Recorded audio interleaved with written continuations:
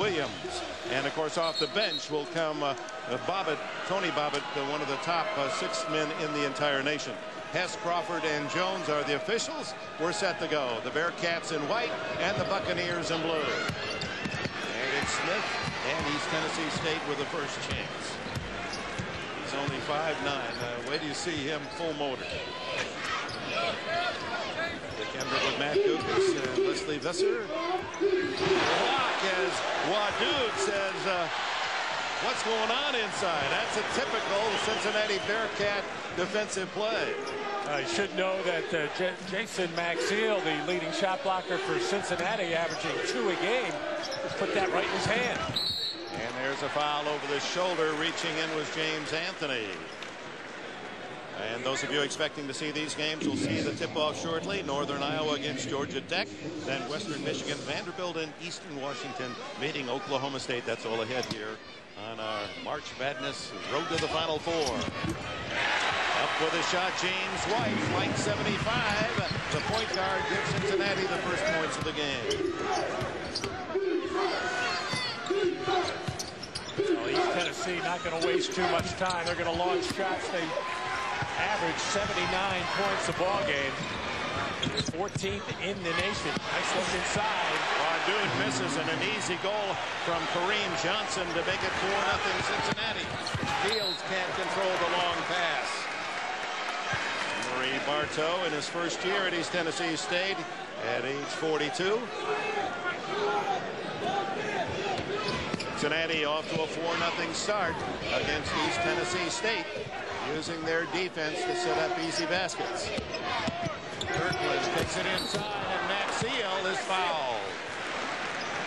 Jason Maxiell will go to the line, the leading scorer for the Bearcats for Bob Huggins in his 15th year at the University of Cincinnati, 13 straight seasons into the tournament. At age 50, one of the outstanding coaches in the country.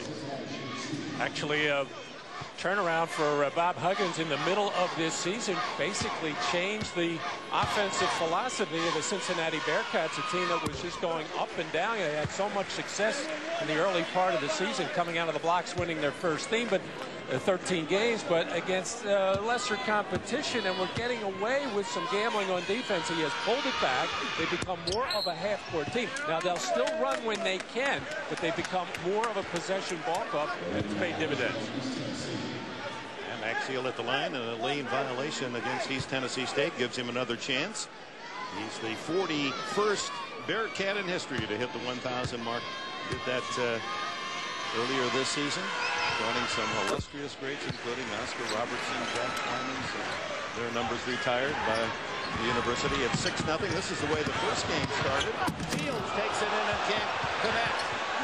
And the little guy Smith parses up a, a shot, and uh, that'll be a held ball. And the arrow points to Cincinnati. Bearcat fans wanted a foul. Well, get used to that from Timmy Smith. He'll take them from any place, anywhere. There's Fields taking it hard in the open floor. Terrific ball, school, uh, ball skills for a guy of his uh, body type. 6'7 and 270, but Maxiell was there to bat it away. Speaking of 1,000 points, uh, Field Williams, number two on the far side. He had, needs only five points today, and here's going for three. He needs two points today, and he'll be at the 1,000 mark.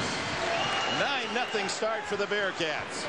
The number one three-point shooter in Cincinnati Bearcat history, shooting 44% on the season. What a start for Bob Huggins. Bearcats 9-0 in the first two minutes.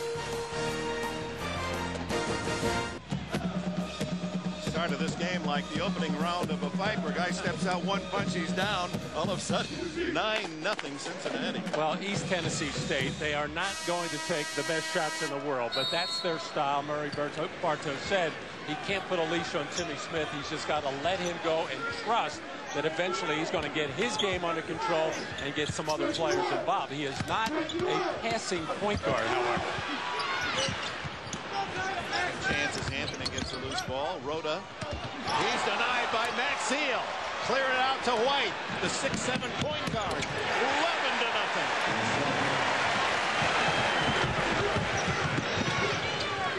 Just as we saw Illinois just mother. Murray State with their defense. So it is here. Cincinnati against East Tennessee State. Well, that's uh, our crack uh, research staff has produced that 11 nothing here, but be assured there's never been a shutout in NCAA tournament basketball history. I don't think there have been any. All kinds of information coming forth. Cincinnati wasting no time against a running team that's not getting back on defense.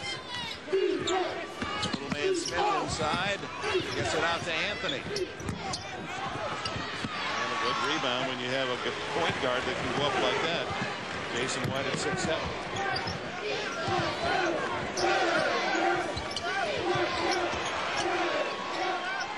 Either White or Kirkland will initiate offense for Bob Huggins. Neither one a natural point guard, but Bob Huggins said, hey, whoever has the ball against whatever's a favorable matchup, we'll let that player get us started. And they have done a terrific job since he actually took Nick Williams out of the starting lineup as a point guard. That really wasn't a natural position for him. And a blocking foul against Cincinnati. The Bearcats are four for four off the start from the floor, while East Tennessee State is 0 for 6.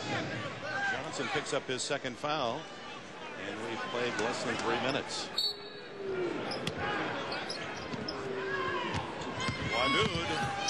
Oh, Maxiell has hit three blocks already. And two on Wadood, who's really not even looking at the defender. Smith and a tip in. Nicely done by Wadood.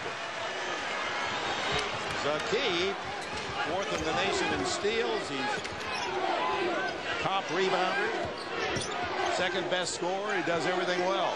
Well, this East Tennessee State, State team has terrific defensive credentials. The only team in Division One top 10 in steals and blocks. So, of course, that'll get your running game going.